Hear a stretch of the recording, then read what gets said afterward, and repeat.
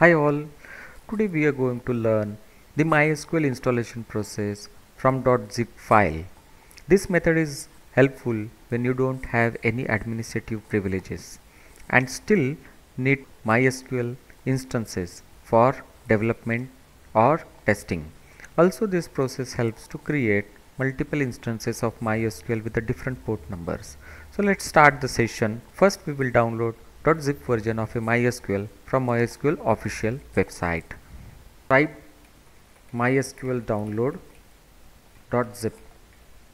This is the first link. Click here. You have to follow the second link here. Click on download. Click on this URL and it will start your download. We have mysql.zip file. So let's extract these contents into MySQL directory.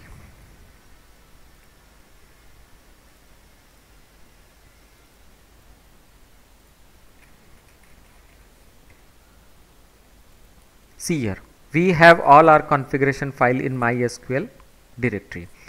We'll need data directory also. Let's create one more di directory here. We'll name this as a mysql data. Okay? So we have to fire some commands to configure the mysql. So this is my notepad file which contain all commands. The first command is to initialize your MySQL server. Second command this is to run your MySQL server. So for these two commands we need three paths. Okay. First path is mysqld. I have it here. As per your extract you can change your path here. Then we need a data directory path. We have it here.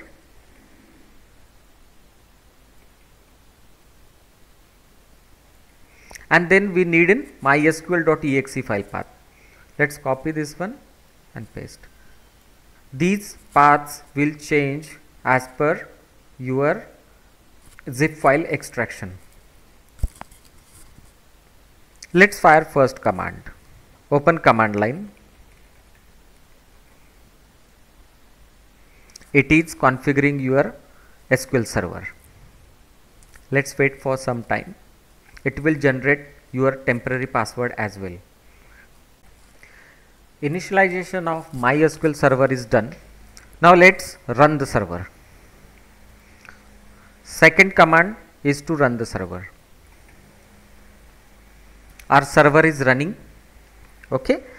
Now let's open new command line. Here we have to fire our third command. Here we have to input our temporary password which is generated into your first command line. Here it is. You will able to see this password, right?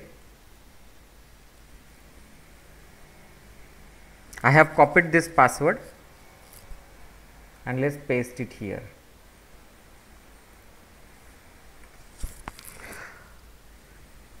Now if you will able to see MySQL is generated. So let's fire first query show databases. Oh I forget yes sign here. Ha. Now it is showing your you must reset your password using alter user command.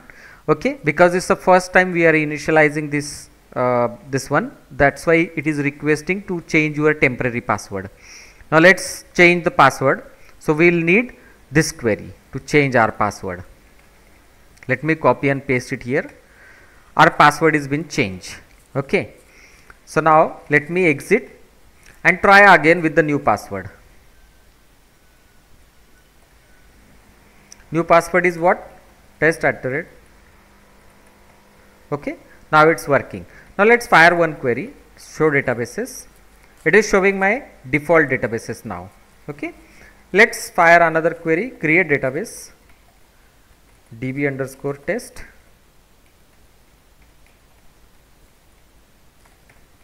and now fire another query. Show databases. Yes we are able to see our db test.